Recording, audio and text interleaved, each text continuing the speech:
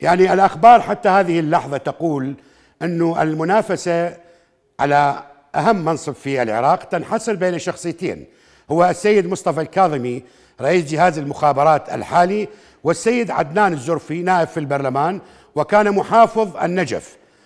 الأبرز ما يتمتع به هذين الشخصين أنهما خارج دائرة النفوذ الإيراني المباشر.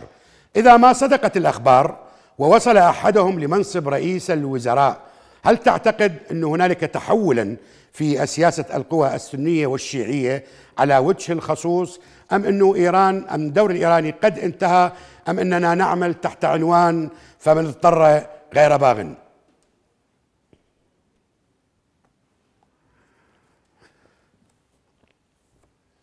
أنا الصوت عندي ضعيف شباب.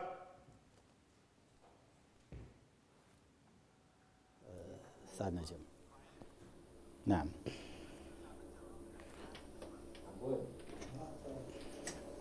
أستاذ أحمد تسمعني؟ أوكي يعني أنا أسمعكم. أي نعم أسمعك تفضل. واضح. تفضل. نعم. تفضل أستاذ أحمد. سؤالك كان واضح. نعم. نعم. نعم الصوت واضح والسؤال كذلك واضح. تفضل. في حقيقة الأمر أن الأزمة في العراق هي أزمة مركبة.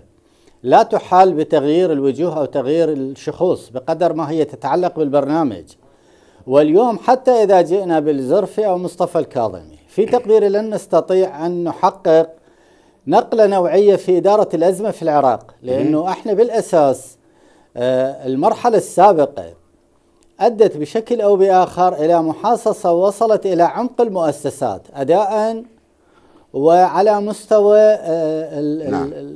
التكامل في أداء المؤسسات. يعني الدور الوظيفي للمؤسسة بشكل أو بآخر هو مرتهن بالولاءات الحزبية. وبالتالي الشخصية التي ستأتي عبر المحاصصة وعبر التوافق هل ستستطيع أن تحطم قيود هيمنة الأحزاب على المؤسسات؟ لأنه إحنا المعضلة التي كانت في المسار السياسي أن هناك رأي عام منفعل. راهنت عليه الأحزاب من أجل تسويق نفسها عرقيا طائفيا إثنيا. واستطاعت بشكل أو بآخر أن تخلق نوع من الصراع بين الأحزاب وبين المؤسسات.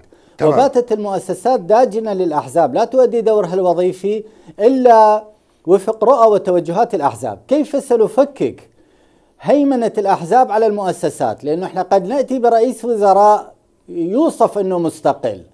وهذا هذه الشخصية التي هي مستقلة ستكون قرار هل سيكون قرارها مستقل؟ هل ستستطيع أن تؤثر في المؤسسات؟ إحنا لاحظنا الوزير يقف عاجز نعم. أمام مدير مكتبه والسبب لأنه مدير المكتب هو الذي يمثل مصالح الحزب في الوزارة التي باتت حكرا لهذا الحزب أو ذاك